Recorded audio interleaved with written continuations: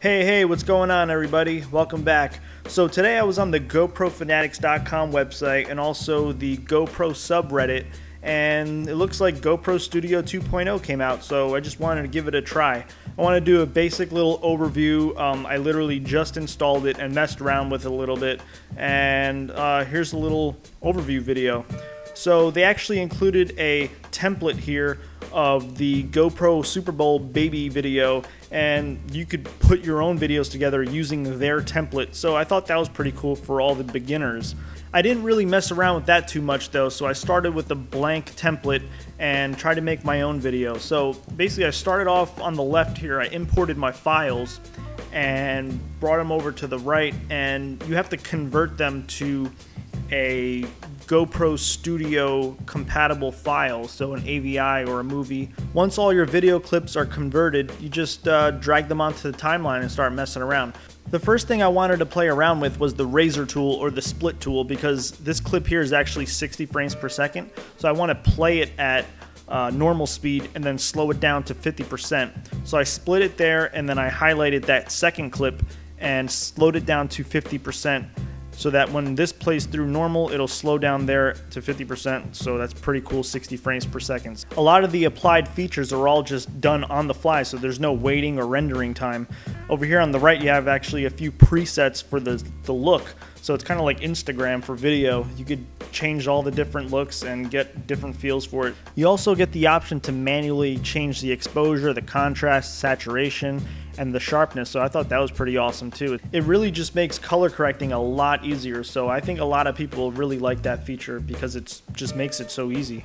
So I just messed around with it a little more. Uh, I just added a few more clips to the timeline. It's very it's similar to Adobe Premiere, but it's different in a way because I've never used this before and I think if it's your first time using some uh, video editing software, I think you should be able to pick it up fairly quickly because GoPro, this GoPro Studio, there's like steps involved. At the top, you have step one, import and convert. Step two, edit, and then step three, export. So it kind of like lays it out for you. And plus, they had those templates, so that makes it pretty easy too. Another cool thing about this is you don't have to spend hundreds or thousands of dollars for editing software because GoPro is actually giving this to you for free. It's a free download right from their website. Adding music to the timeline is just like any other editing software. You basically just import the file and bring it onto the timeline and just hit play and you'll hear the music playing. Then you'll just want to edit your uh, video to the music so that it flows better. So once you're done with your video, you're just going to want to export it. They have several uh, preset export features. You have YouTube, Vimeo, mobile device, 720, 1080.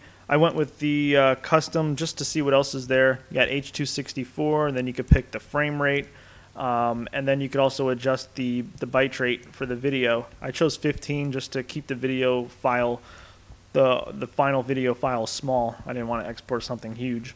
So then you just hit export and it will just export the file wherever you want to.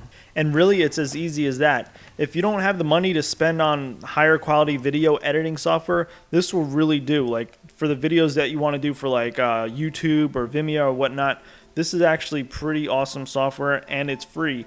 Um, it's really easy to use. Anybody could really figure it out. The only negative thing I found so far was uh, I first tried editing this video using my external hard drive. So I had all my video clips on my external hard drive and my project files were on my external hard drive.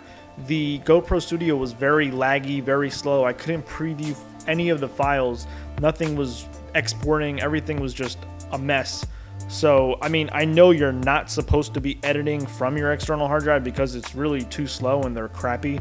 Um, so for this video, I actually just edited everything from my solid state hard drive, which is my main drive. Now, the only reason why I say it's a negative thing that the GoPro Studio 2.0 cannot edit from your external hard drive is because I can do that in Adobe Premiere, CS6, and CS5.